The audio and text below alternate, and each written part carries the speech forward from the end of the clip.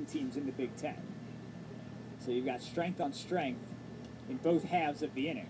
This one hit in the air. Robles racing there. Did she make that catch again? Yes.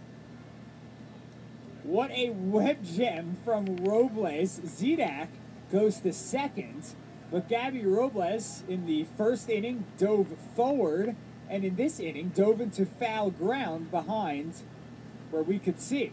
Robles has made two phenomenal plays in this game, like you just said. That one was even better because she was shaded probably